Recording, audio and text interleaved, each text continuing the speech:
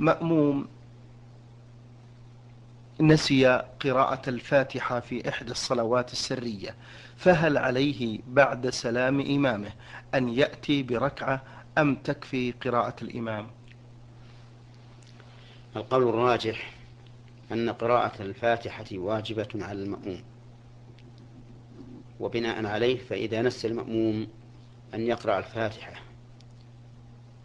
في إحدى الركعات فإن هذه الركعة تلغو ويأتي بدلها بركعة بعد سلام إمامه. فإذا أدرك الإمام في أول ركعة ونسي أن يقرأ الفاتحة في هذه الركعة مثلا فإنه إذا سلم الإمام يجب عليه أن يأتي بركعة بدلا عن الركعة التي ترك فيها قراءة الفاتحة. لقول النبي صلى الله عليه وسلم لا صلاة لمن لم يقرأ بفاتحة الكتاب ولقوله كل صلاة لا يقرأ فيها بأم القرآن فهي خداج فهي خداج فهي خداج يعني فاسدة. وإنما لم نقل ببطلان الصلاة كلها لأنه كان ناسيا.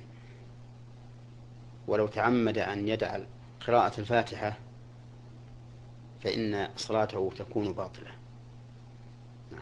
بارك الله فيكم.